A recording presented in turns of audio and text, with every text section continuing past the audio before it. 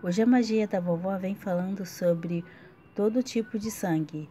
O sangue, ele é considerado um veículo energético por excelência. Sangue vermelho, sangue branco, sangue negro. Dentro dessas três cores estão vinculadas outras cores. No vermelho, o amarelo e o laranja. No negro, o verde, o azul, o lilás e o cinza. O sangue vermelho compreende no reino animal todo tipo de sangue humano e animal. No reino vegetal, azeite de dendê, ossum e mel.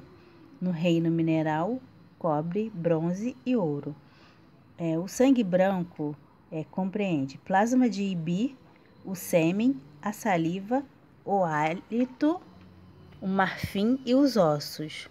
No reino vegetal, a água, o álcool é, contido nas bebidas brancas, a manteiga de, de ori e o inhame.